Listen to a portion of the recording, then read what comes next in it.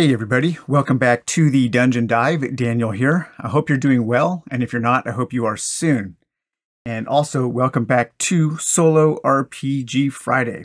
And today we are going to be taking a look at Talisman Adventures, the Talisman RPG from Pegasus Spiel and Games Workshop, as well as the uh, Tales of the Dungeon expansion. So when this game was announced, I pretty much dismissed it, even though I am a huge fan of Talisman. You can see I have some Talisman stuff set up here to set the scene. Um, Talisman is in my top 10 games of all time. It's one of my most treasured and loved games, especially second edition. But it's also a pretty typical, generic kind of fantasy game, fantasy setting. And I just questioned what Talisman Adventures, the role playing game, was going to bring to the table that any other number of fantasy RPGs already out there haven't already done. You know, what is going to make this feel like Talisman? Well, about a month ago, a Dungeon Dive viewer asked me if I was going to cover this game at all, and I said probably not. And they said, "Well, you know, if you if I sent you a copy, would you take a look at it?" And I said, most definitely. Uh, that sounds like a good idea. So uh, he sent me a copy. I bought the uh, Tales of the Dungeon on my own, but he sent me a copy. And uh, so I started reading it. And page by page, getting deeper and deeper into the book, I started absolutely falling in love with this game. There are so many great qualities to Talisman Adventures. And they did a brilliant job of translating the things that make Talisman a fun board game into an RPG and taking some of those very Talisman esque elements and putting them into an RPG. I am quite shocked at how good this system is.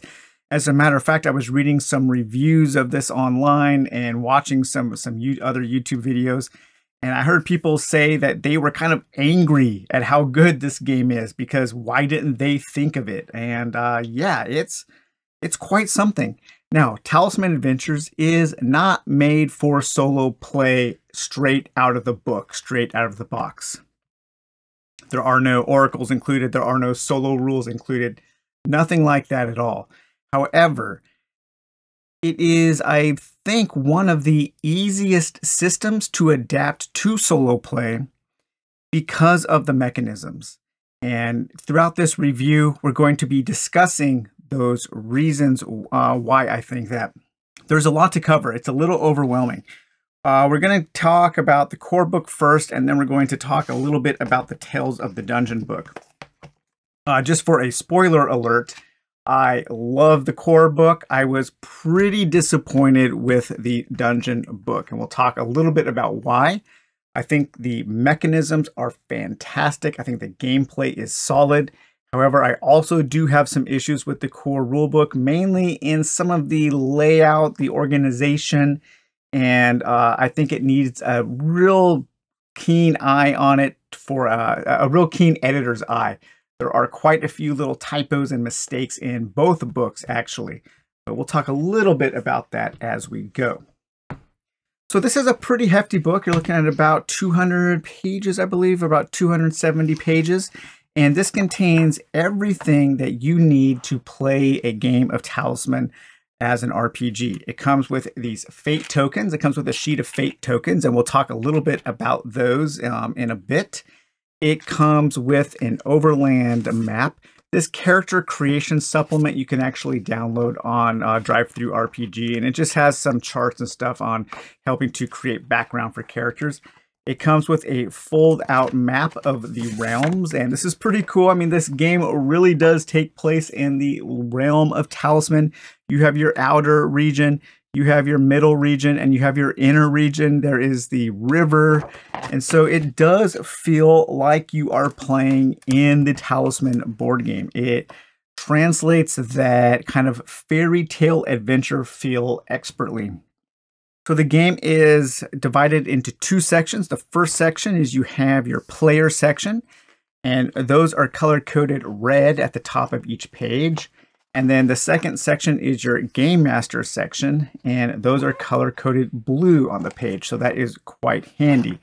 Now the game does, the, the book does open up with a lot of information before you get to character creation. And I think that's one of the problems. I usually like my RPGs to start with character creation because that's kind of how I typically learn a game is by creating a character and then learning the rules from there.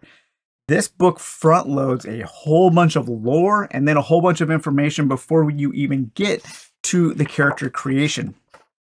As a matter of fact, the chapters for uh, your your ancestries, which is like your races and your classes, is actually before how you even create a character. So it's a um, you don't start creating a character until page 87, and that's that's a lot of ways into this book before you kind of get to what you as the player are going to be focusing on.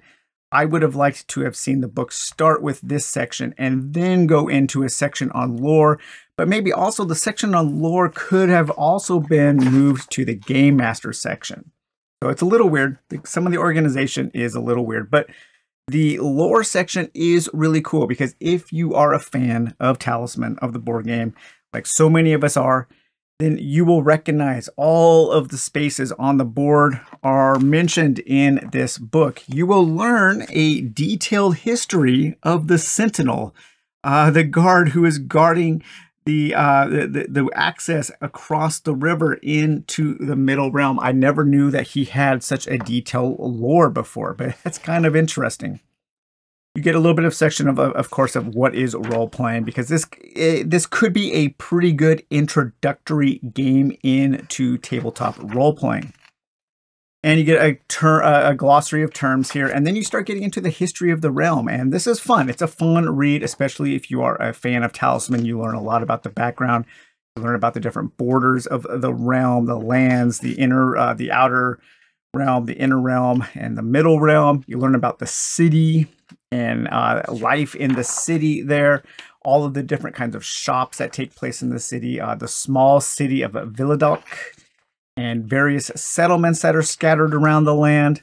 Uh, you get uh, you get a little history on the tavern, uh, the sepulcher there, uh, the different wilds, the forest, the crags, and the mountains, and then a little section on the middle region and the inner region. I have a feeling they're going to be releasing a uh, expansion, a supplement book, probably focusing on both of those regions, both of those regions, because this book is more focused on the outer region, on probably kind of like lower level or safer play. And then we start getting into the rules. Now, I'm not going to I'm not going to go super deep into the rules, but when we start talking about them, I'm going to be discussing why I think Talisman works so well as a solo game and why it would be easily easily adapted to solo play. And one of the main reasons why is throughout the book, at least a handful of times, the book mentions that most of the action in this game is driven by the players. As a matter of fact, there is only one time that the GM rolls a die and that is when they are rolling for uh, damage done from an enemy attack. That's it. Every other die roll is done by the players. This book encourages, actually, it demands that the players set the pace for everything. And so, in a game like that, where the where all of the dice, all of the action is in the play, uh, the hands of the players, those kinds of games are much easier to adapt to solo because you don't have to simulate any kind of hidden rolls or any kind of hidden information on part of the GM. So that's one of the main reasons why I think this game works so well solo. Additionally, because of the fate system and because of the dice system, this game does actually have some kind of oracle systems built into its core mechanisms, even though it doesn't call them oracles these two things, when combined with a couple other things, can easily be used as oracles. The uh, the results of conflict naturally lead to creating story. And in that sense, it is a very easy game to solo and to kind of create the thing that you want to create as you are playing the game without needing to bring in any other additional tools.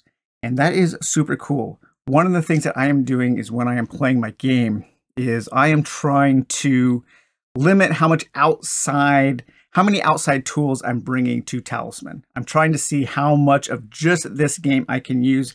And right now, what I am focusing on is just using some Fate dice in a similar way that uh, Talisman handles its core mechanism of D6. So this is a really, really neat system.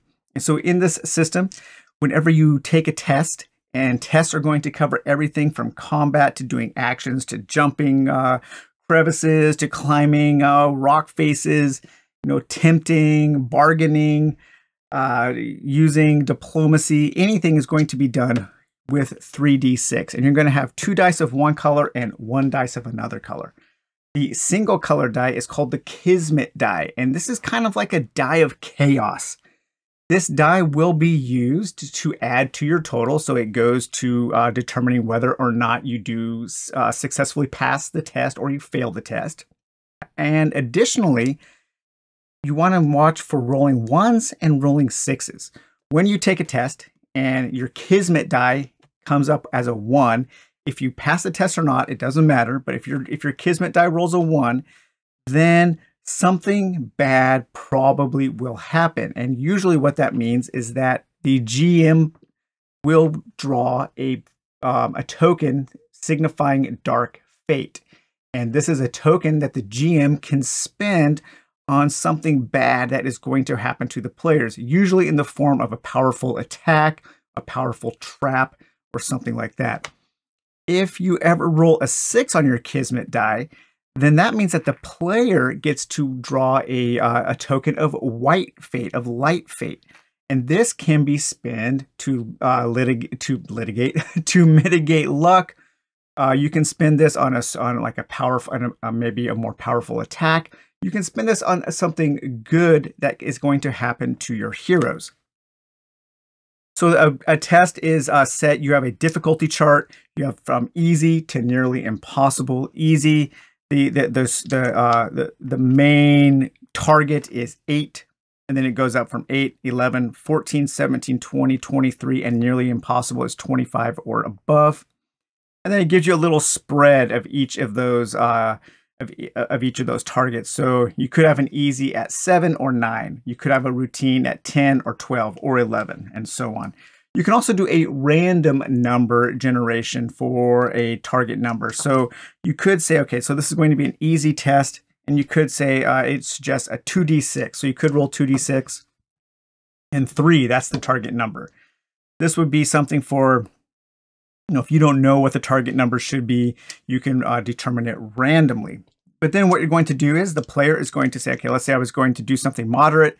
It was 14 let's say it was a stealth check and I had a, I had this the stealth skill and so I would get to add one of my attributes to that test which would be agility let's say my agility is 4 so I would add 4 to that I would roll and then I would look 8 9 adding 4 is 13 and what did we say it was 14 I think we said moderate so I would have failed that test and I would have also rolled a 1 which means that I would add a uh, a, a, token of dark fate to uh, the GM as a player. And uh, eventually, this could be spent for something bad to happen to me. Now, there is also the idea of these doubles and triples, and these kind of dictate the success, the degrees of success. If you succeed and you roll a double in your success, then it is considered a great success, and that means something really good happens. If you uh, succeed and you roll triples, then that is an extraordinary success. And that means something really great happens. You go above and beyond. Not only do you accomplish your goal, but you accomplish your goal and something else really cool happens. Now, what's interesting is that uh, degrees of success from failure to a normal success, which is no doubles or triples, a, a great success and an extraordinary success, those also impact combat because in combat, it's always the players that are rolling dice. So if you are attacking a monster and attacking a monster It's just another 3d6 test with a melee skill. So let's say my melee skill, let's say I had a, a plus 5 and the enemy had a target number of 12. Okay, all right, so there we go. So I got uh, 11 and uh, 4 is 15 there. And then I hit that target number and that is a standard success because I didn't have any doubles or triples. So on a, on a standard success, I do damage to the enemy, but they do half of their damage back to me. If I had rolled a double six and also succeeded, that would be a great success. And in combat, a great success means that the enemy does not damage me. Combat is simultaneous in this game. So let's say I rolled uh, three sixes here in combat. So that would be an extraordinary success in combat. And that would mean that I could do more damage. I could knock an enemy prone. Uh, maybe I could spend a point of fate to do to trigger some kind of uh, power that I had. So really cool system. The degrees of success lend themselves really well to solo role playing because they help you tell a story depending on what happens, depending on the, the thing that happens depicted by the dice. Now, what I am doing when I'm going to be playing this as a solo game is I'm actually going to be changing up the fate system a little bit. I'm not going to be giving the GM player a dark fate and me a light uh, a light fate in order to spend. What I'm going to be doing is I'm going to be adding those points of fate to a fate pool. And this fate pool is kind of representing the chaos of the universe, of of things outside of my power that could benefit me or help me. Maybe some divine power or some evil power. And as the game is progressing, the light side might get more powerful and maybe the dark side might get more powerful. And at certain times in the game, when I need to draw, when I want to spend a fate, or when I roll a one and maybe the um, the GM would want to spend fate in order to trigger some enemy's special ability, then I draw out of the bag and I see what happens. So there is a little bit of pressure. I'm adding a little bit of a pressure luck element to the game because every time that I want to use fate, there is a chance that I might draw some dark fate and maybe fate is not on my side for that attack. And then I could have to would have to interpret that for something bad that would happen in place of, you know, in addition to maybe a success. So I'm really excited about this fate system. I like pressure luck elements in games, especially solo games, because it gives you, it builds in some tension that is often missing from a solo game. And uh, yeah, this is really cool. So the fate, uh, there's a chart here that of how you can spend uh, your, your points on fate. And then we get into the combat. The combat, like I said, is relatively simple. It's always in the hands of the, the players. The players are always rolling dice. Even when the enemies attack the players, the players are rolling defense dice. So the, the, the GM is never rolling dice. The GM only rolls dice for comp for uh, damage. And it goes into your basic uh, different ways you can attack, you know, melee, you can cast spells and all of that. So you have your core rules basically all up front here. Uh, rules on armor. Armor is a little complicated in that it's actually additional points of um, additional hit points that you get. And then as your armor takes damage, the amount of additional hit points it adds uh, goes down until you repair it. And then we get into our skills, and uh, the game is very skill based. You have a whole bunch of skills like animal handling, athletics, empathy, uh, intimidate, missile weapons, persuasion, uh, psychic, ride, sleight of hand, stealth, etc. And each one of those skills will be governed by a certain attribute and uh, that will allow you to add bonuses for when you are doing something pertaining to those skills. And then every skill also has a number of different focuses that you can choose. And so if you are doing a skill test that involves that focus, then you get an additional uh, bonus to those die rolls when you are doing that test. Okay, then finally, we kind of move into our section on character creation. And we start with our ancestries. We have our typical ancestries like dwarfs and elves and ghouls. Yes, remember in um, in Talisman you could play as a ghoul. A ghoul was a character you could play, and they have included ancestries like that. You can play as in the uh, the, the dungeon book as a minotaur character ancestry, Or perhaps you could play as a troll. So you can play as as ancestries that are, that often are not included as races in other RPGs, and that is super cool. Ghouls are really interesting. They kind of take care of of cemeteries, so you could play a ghoul undertaker or a grave digger or something like that. That is really really cool. Then you also have humans. You have ley walkers, which are kind of like these fey creatures. Uh, of course, sprites you can play as. Uh, there's your sprite standee there. And then trolls. And then you have your classes, and you have all kinds of different classes, just like you would in the uh, board game. You have your assassin here, and the assassin is pretty cool. They have all kinds of different powers, and your your class. When you pick a class, so when you create a character, uh, there is no uh, there, there's no dice rolling in creating a character. Your your uh, ancestry and your class will give you your stats and will allow you to choose from a certain number of starting abilities. And then they will also allow you to choose from a bigger pool of skills and other abilities to uh, to help modify your class and make them unique. So you have assassin, druids, of course. The uh, the druid. Where's my druid standee? Did I not take out the druid? I guess I didn't take out the druid. There's the cool looking elf standee though and your priest, and of course your prophet or your prophetess, the prophetess in uh, Talisman there. You have your scout. Uh, there's our scout standee. I love having this stuff from Old Talisman. Uh, your sorcerer. Oh, there's the druid. Yeah, your druid standee there. Really cool. I like character creation. It's very, it's pretty quick. There's no dice rolling, so there's nothing up to chance. You get to craft the exact kind of character you want. And the stats it does use, so just like Talisman, it does have two core stats, and those are called your attributes of strength and craft. And those pretty much dictate how much damage you do in physical combat and how much damage you do in uh, in psychic combat. And then underneath your uh, your two attributes, you have corresponding aspects. They're called aspects. So we have brawn, agility, and mettle. Those are physical aspects. And then you have insight, wits, and resolve. And those are uh, your craft aspects. What's interesting is when you're creating your character, you will take your strength that you are given from your class or from your ancestry.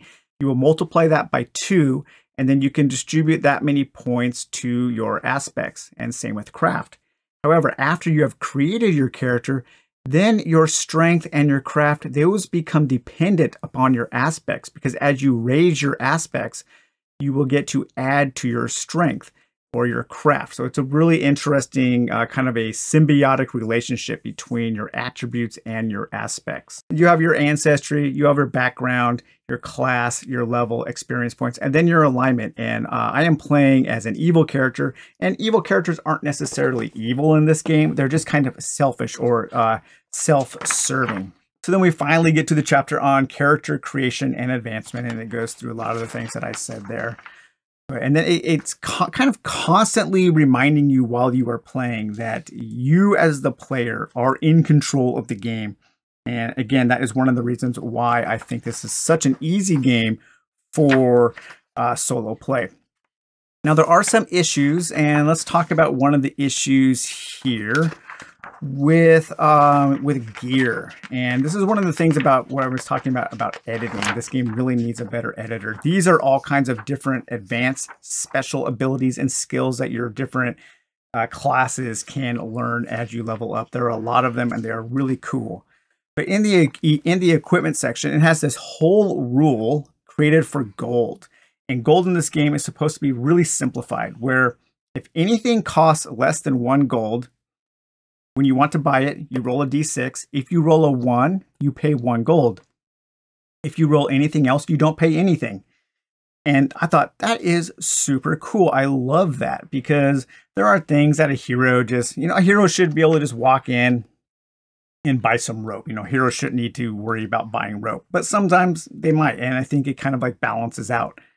However, when you look at the price of everything, there is only one item that costs less than one gold, and that is a staff. I am completely baffled by that. they created this whole rule for somebody buying a staff. I just I don't I don't get it. Um yeah, I don't know. It, it's really weird and there's quite a few little things like that. The game will often confuse attributes and um, aspects. Sometimes it, they, they, they get they get their own terms confused sometimes. Sometimes the rules for the armor are a little um, iffy. I'm not quite sure. Uh, they might mention here, they mentioned that armor has armor points. But then on the chart of armor, they call it protection. And I'm not sure if those two things are the same. So there's just some weird inconsistencies like that. It, it this this game needs maybe it needs a second edition in order to kind of uh sand over some of the rough edges perhaps. But the core mechanisms I think are really really solid. So in addition to the players being in control of the dice, in addition to the players being uh, driving the action, Another thing that I think this game does really well, you have a whole bunch of spells here, so we're just going to flip through all the spells and like a few different uh, schools of magic. But I think the next thing that this game does that is incredible is the strangers and allies and followers. So a huge, huge thing of Talisman was the use of followers and strangers. So followers, when you found a follower in the board game of Talisman, they would join your party, they would join you as an entourage, and they would follow you around and they would help you uh, get past challenges. And it was nearly impossible to do well in the game without having a bunch of followers. You could use them as meat shields, you could use their special powers to help you. And then there was also strangers, and strangers were super cool because they would come out on the land and you could meet them and they would you would be able to interact with them in some simple way to maybe gain a boon or press your luck a little bit to get something good with the chance of something bad happening to you. But the RPG has taken that idea of has taken the RPG idea of NPCs as non-player characters and adapted that to strangers and followers from the board game. And it is awesome. I love this system so much because it adds a mechanical, a, a gameplay reason for players to interact with NPCs. In solo role playing, sometimes it's a little difficult to have those interactions with NPCs because what are you really doing? Are you having a conversation with yourself in your head? What is the NPC going to do for you? Uh, de determining those those mechanical reasons for an NPC to exist can be hard in solo role playing, but Talisman does away with all of that by introducing concrete mechanical elements that the NPCs add to the game. So you have a whole bunch of different strangers as NPCs, and you have a chart that tells you if you are hated or devote if you are hated by the NPC or if this NPC slash stranger is devoted to you. And depending on how you interact with them, you can give them gifts. You can, you know, you can improve the way that the NPC reacts to you, or maybe you can damage it and they can turn they can turn their backs on you. They can turn their back on you. But as you look through the list of strangers of NPCs, you they have a benefit. So an armor smith is an NPC. Okay, what's his benefit? He can fix that. So um, an, an armor smith with a neutral or better attitude will gladly repair a suit of armor for free or uh, for a fee of one gold. Only the best steel. Armor smiths have suits of armor, helmets, and shields available for purchase at standard cost. These are usually available in multiple sizes or in sizes that they can quickly alter. If PC is looking to buy a particular item, ask the player to roll 2d6. On a 6 plus, the armorsmith has that item in their size or close enough. So really cool. And then also, each of these NPCs will also have their base stat or their attribute of a strength and craft and a life. So if they end up joining you as a follower, then you can take them and you might be able to use their strength and craft or their life to help you while you are playing the game. So we have all kinds of different NPCs to interact with, and each one has a benefit. Each one has a gameplay reason for interacting with. We have astrologers, we you know, cut purses, dung sweepers, healers, and some of these also have little charts that you can roll on. So very, very handy for solo role playing. Maybe you meet a fairy and maybe the fairy is going to give you a random benefit. You know, you can have a whole quest where you're trying to rescue a fairy and then the fairy has a chart of benefits or maybe you you are you come across an evil fairy and they might curse you. Uh, you can utilize the uh, the expertise of a healer. Maybe you come across a leper and there's a whole chart on what the leper might do or a leprechaun, a peddler, a shrine priest, a street sage, a talismonger, and then how to gain those as allies, and then how to gain followers. And followers, this is besides the 3d6 system with the Kismet die with that 1 and 6 and the Fate system, using the Fate as kind of an oracle or as a way to to simulate randomness and using the dice and the degrees of success to tell stories with dice rolls.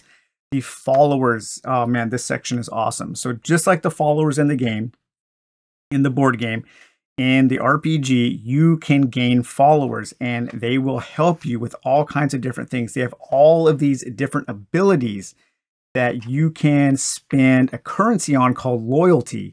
And as you spend loyalty, you can utilize your followers' benefits. And then each follower has a way that you can um, improve their loyalty. So you can spend their loyalty as a currency, and then you might have to do something to gain it back. And if their loyalty ever drops to zero, then they leave your party. Uh, another thing that you can do is if you have followers and they have life points, they have health points, then when you take damage, you can actually uh, push off that damage to your follower. So that is also another way that you could kind of balance the game around only having one hero. You could take one hero in a solo uh, play session and just give them a handful of followers to help them, to help augment their only being one hero.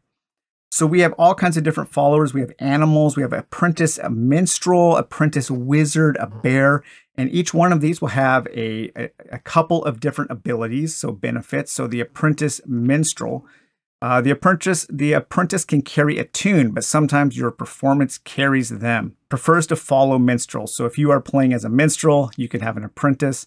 Uh, benefits they can cast a, kind of a spell of calming music. You can spend one loyalty, and the apprentice minstrel plays a calming tune, preventing a targeted wild animal from protect from attacking. If the animal is attacked, the calming tune is broken. So backup band. Uh, this is a if you are a minstrel and you can spend one loyalty, the apprentice minstrel speaks inspiring words. One ca character who can hear the words chosen by the apprentice's leader is granted a bonus equal to the follower's craft on their next attack. And so then that minstrel will have strength, it'll have craft, it'll have a number of life points, it'll have its max loyalty, and a, uh, a thing on restoring loyalty. So to restore the loyalty for an apprentice minstrel, you uh, when you pay the follower one gold or give them an item worth at least one gold, they will gain.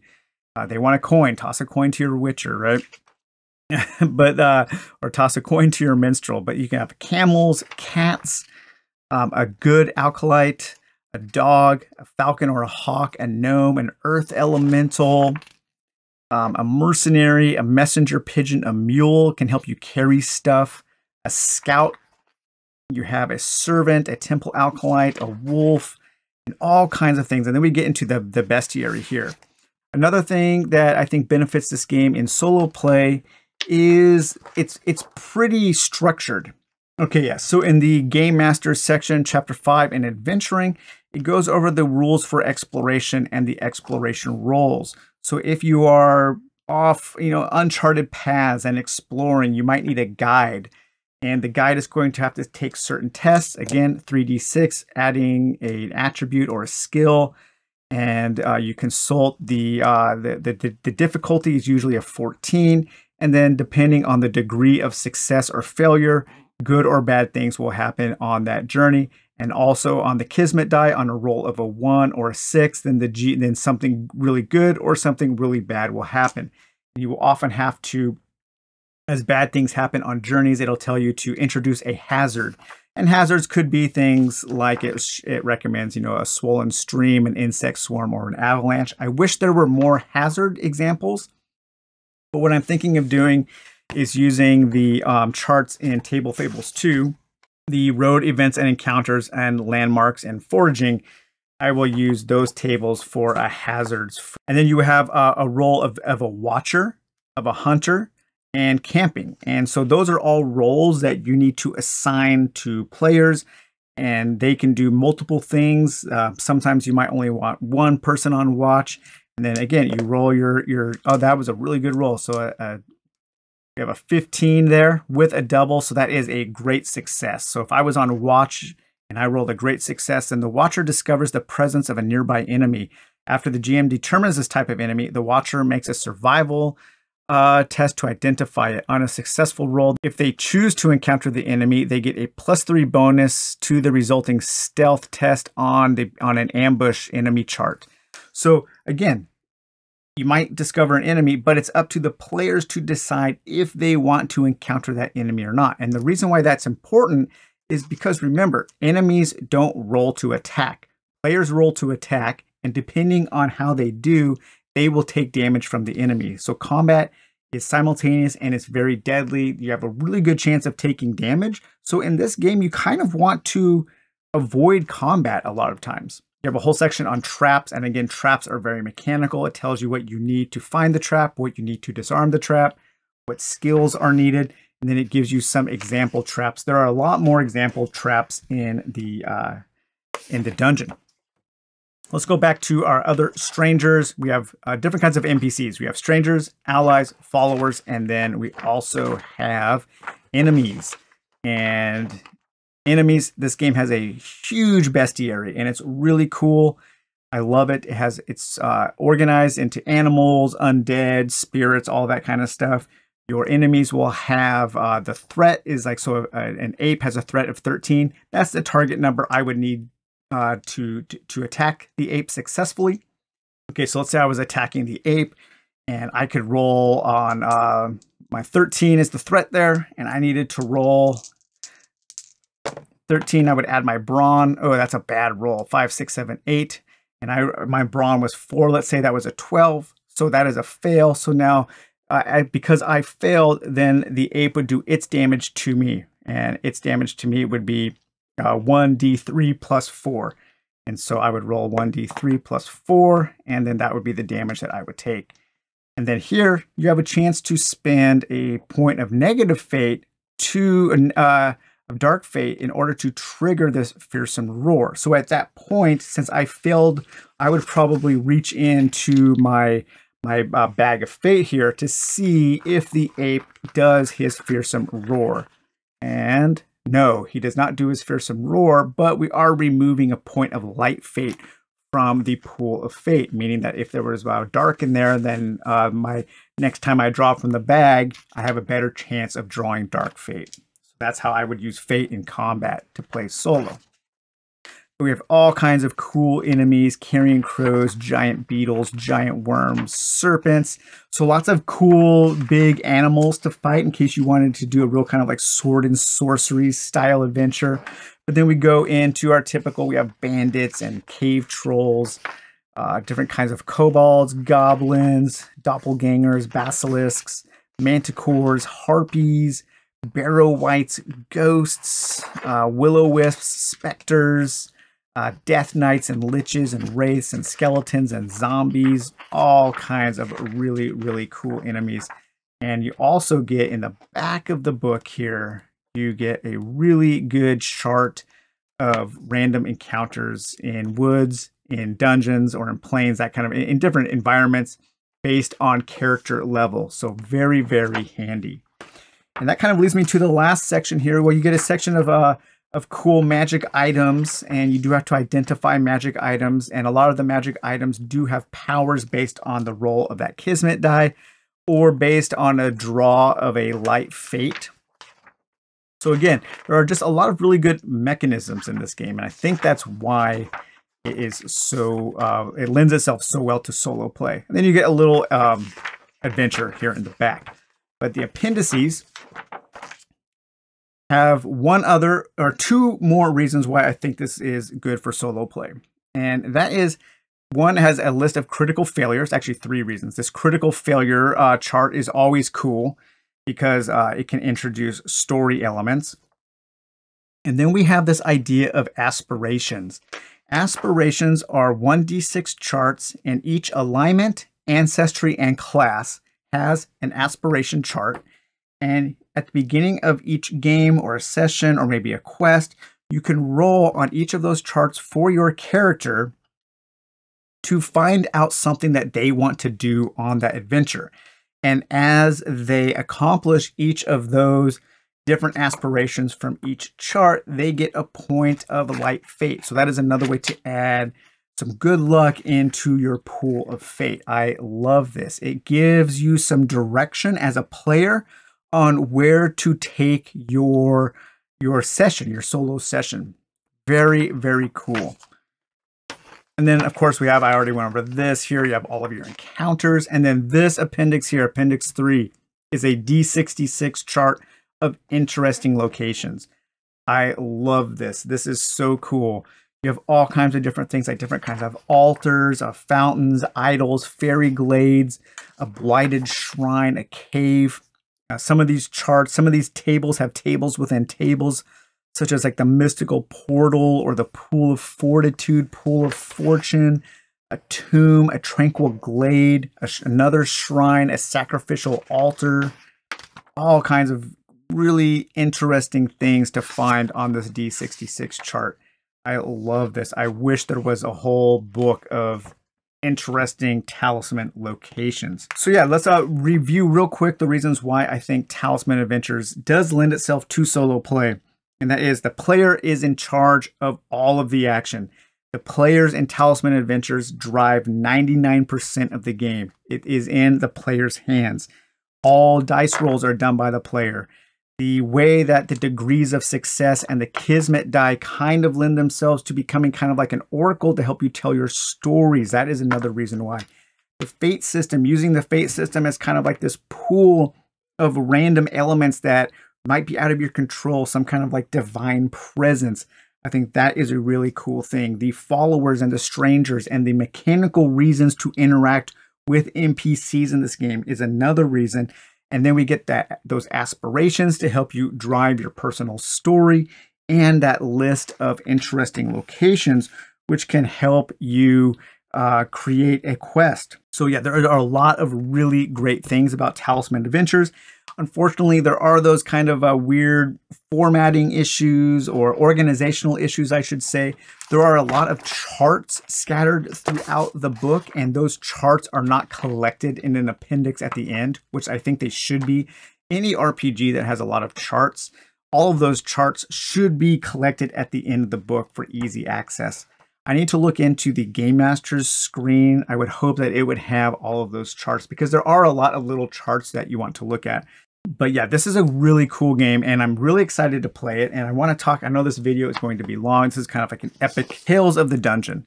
This book I was looking forward to. I was hoping it would have a whole nother chart of interesting locations to discover in a dungeon, but it does not. It hardly has anything to help with creating dungeons. And that is something that I was really hoping it would have. It is a pretty basic book. It has some cool information on different dungeons. Especially it has some cool lore where it goes into the history of dungeons and the land of Talisman. And you get kind of like a travel log of famous dungeons of the realm. So this is kind of cool. You can learn about the sewers or the rat's nest or the catacombs, uh, the deep root and forest hold, alabaster halls under the White Horse Hills. So it has some cool lore and stuff. It doesn't have a lot of mechanisms. And the main book of Talisman has so many mechanisms to help facilitate gameplay. And the Talisman dungeon book just seems to have a lot of ideas. And ideas are a dime a dozen. And I was hoping for more reasons, for more things that would help me create dungeons and run dungeons in a game. What it does have, though, is a couple new ancestries and classes, and this is pretty cool because now you can play as a Minotaur and a Vampire as uh, ancestries. And then you have two classes. You have a Necromancer and a Tomb Robber. And this is where this book really inspired me. So I saw this Tomb Robber class, and I thought, okay, that sounds cool. I want to play as a tomb robber who's maybe being hired to go and uh, loot different tombs. Maybe some people who are into antiquities want me to go and gain and gain treasures for their museum or something like Indiana Jones, or maybe there's a maybe there's a, a, a dungeon that was discovered with a bunch of booby traps and the city is the city guard has hired me to go in and clear out the traps, kind of like, you know, uh, people will go and clear out minefields for safeties, that kind of thing. Kind of a blue collar character. I like the idea of blue collar characters, of them not being adventurers for the heroic sense, but them adventuring because that's part of their job. And so that was really cool. I thought, okay, so this is really enticing to me, this tomb robber class. And then I started looking into strangers and followers. And I noticed some really interesting followers here such as a miner, or maybe a torchbearer, a trap smith, a treasure hunter, or a tunnel fighter. And all of these um, all of these different followers that I was reading about, they made me think of my tomb robber as having a business, of having a business like Divers Incorporated. And I would be stationed in the city and I would have employees. And so I made my uh, my tomb robber here, Rodney Barrowsmith, and his uh, skills. He has athletics with a focus in climbing, evaluate with a focus in antiquities, notice with a focus in searching, sleight of hand, uh, stealth with a focus in ruins, tinker with a focus in pick locks, melee with a focus in small blades, and bargain. I have some special abilities where I have spare parts where I can take parts from traps and make my own traps. I'm a good trap springer, so I'm good at dissembling uh, traps. And I have boast and swagger. I like to uh, talk big about my exploits. But then I put together a list of my followers, and these are my employees uh, employed under Divers Incorporated. So I have a miner, a torchbearer, a treasure hunter, and a tunnel fighter. And these are the, the people that I'm going to take in with me as I adventure, as I am hired by people in Talisman City to go down into the depths to find discoveries, to find treasure, to find antiquities, to disarm traps, to clear out sewers of rats and all that kind of stuff. I'm going to have to kind of manage this business. And all of these followers, they regain loyalty when they are paid one gold. So I have to pay them a salary. And if they die, then I have to hire new ones and put job postings up. And that could be a, a whole adventure as uh, on, on its own. And what I'm thinking about using as some of my main uh, gameplay as far as the dungeons and the underground environments that I'm going to be exploring is uh, using Downcrawl. And Downcrawl is a supplement created by Aaron A. Reed.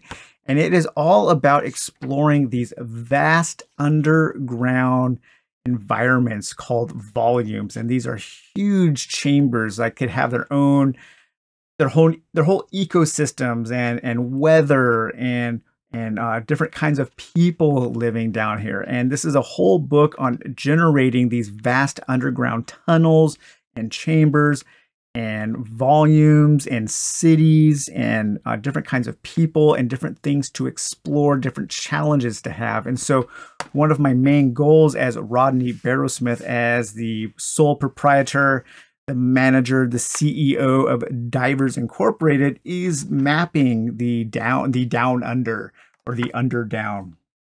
So, really looking forward to that. So even though I was pretty disappointed with this book, with the dungeon book on a whole, it inspired my sessions that I want to play with Talisman as a solo RPG. So I'm really thankful for it for that. However, this book has some major, major issues. These new classes and ancestries, they feel incomplete because uh, the aspirations. So the aspirations section at the end of the Talisman book that I liked so much that gave you a purpose. You could roll on random charts for your purpose. The new classes and the new ancestries in this do not have any of those charts. That is one way that they are incomplete. Another way that they're incomplete, and which even which is kind of even a more broken way, is in the main book each class has a starting pack, starting kits. And this tells you what those classes start with, what items they start with, and how much gold they start with. Well, the classes in this book don't have starting kits either. It's really, really odd how poorly made this book is compared to the original book. There's a lot of things in this book feel completely unfinished.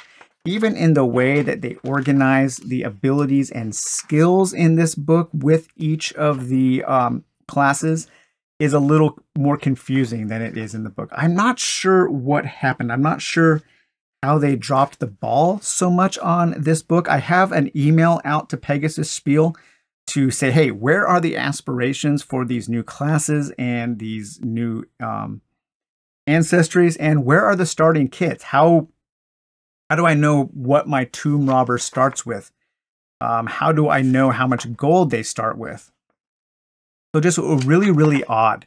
I think the only really cool thing about the dungeon book is that it is one class, the Tomb Raider, and the followers. The followers are really cool, but it's only really kind of helping me because it's helping me tell the story that I want to tell. But most of this book, I uh, actually the trap section. The trap section is also cool. You have a whole section on traps and underground uh, hazards, and then you get a whole bunch of example traps. So these sample traps here we have, or simple traps, exploding chest, uh, falling block trap, flaming vent trap, all of these different traps. And it gives you uh, ways to use Dark Fate and ways to use the Kismet dice. So mechanical reasons, mechanical things about these traps, which will make them easy to employ in, in a solo game. Talk a little bit about how I am using also these uh, Fate dice here in conjunction with the, um, the mechanism. So um, I'm kind of using these as an oracle as a way to interpret uh, questions that I'm going to be using in this game. And I am incorporating kind of a Kismet die system to my fate uh, die rolls. So just like how this would roll a 1 or a 6, and that could be used as an oracle to interpret further good or bad things that happen when I'm taking tests, I'm using uh, the plus, the good, the, uh, and the bad on the fate die to represent more beneficial or detrimental things that might happen when I am consulting this oracle. Uh, for instance, let's say I am sneaking in a dungeon and there are some guards. This isn't like a natural dungeon. This was an underground fortress and I'm down the hallway. There is a door and I need to sneak up to the door, but I'm not sure if the guards are are taking their duties seriously. You know, are the guards uh, carefully watching this tunnel? Okay, so the normal dice give me a plus and minus and nothing good or bad. So just kind of a typical, I would interpret this as being typical to the situation. So these guards are in their natural habitat of their underground fortress. So they are probably paying attention. And so that would mean that, okay, uh, the, the difficulty check to get past the guards would probably not be easy or moderate. It might be moderate or hard moderate. So then I could take my test. I could look at that. So I would say that would be like a high moderate. So that would be about a 15. So I would need to do a stealth check of 15 in order to sneak past these guards to get to the end of the hallway to open up that door. So I have a stealth and I have a focus on ruins. Uh, these could be considered ruins. They could be uh, uh old ruins that have been taken over by these uh, by these uh, bandits and and turned into an underground fortress. So I'll give myself a bonus there. So for my stealth is agility, so I get to add a four. And because I have the focus of ruins, I get to add a two. So I get to add a six to this roll. And I'm looking for, let's say a 15. I think that's what we said, 15 moderate challenge. Okay, so I got a 9, 10, 11, 12, plus 6. Yes, so I 18. So I successfully uh, the guards. I get to the end of the uh, hallway, but I have no idea if this door is locked. So is, is the door locked? Okay, so uh, that's another kind of uh, the positive and the negative kind of cancel each other out. So is this door locked? I would say that this is kind of a neutral interpretation. Um, if there was something I was looking for through this door and it is in a natural habitat where a door would be locked, a fortress, then yes, the door is locked. However, because my fake Kismet die gave me a plus, gave me a, a, a bonus, I would say yes, it's locked, but it's an easy lock to get by. So I would say that that is for a tinker um, with uh, skill and pick locks. This would be a routine challenge, a low routine challenge, so a 10. So again, let's say I need to get a 10. So my tinker, I have an agility of 4 and I pick lock. So again, I'm going to add 6 to this. And ooh, look at that. Okay, so this is interesting. This is really cool. So we have a 6 and a 7 plus a 6 is 12 or 13 and I needed a 10, so I passed the check. And I roll doubles, which means that it is a great success. So I easily open up the lock, but I also rolled a 1 on the Kismet die. So that would mean that I would add a point of Dark Fate to my pool of, of Fate. I could also push my luck and say, okay, um, let's draw Fate out and if I draw a dark fate, then maybe a guard does end up noticing me. If I draw a light fate, then I slip into the room completely unnoticed and I have free rein of that room. Oh, dark fate. Okay, so I tempted fate. Something bad happened. I got the door um, unlocked. And then all of a sudden, a guard's like, hey, what are you doing? And so I have to make a split second decision. I'm going to uh, throw one of my daggers at him. I don't have uh, the throw skill. Let's say I don't know how much the threat is for a bandit. Let's say it's 12. So I get to make an unskilled test. So I don't get to add anything here. Uh, 12, 8, 9, 10. No, I do not. So I missed the dagger. I missed the throw. And then now I'm in combat. So yeah, so that's how I would kind of, I'm, I'm using the fate dice along with the degrees of success and the Kismet dice and the Fate pool as a way to to play Talisman as a solo RPG. And I think it's working out pretty well. I'm not needing to bring anything else in. I do have my encounter building cards just in case I need a little something else to help.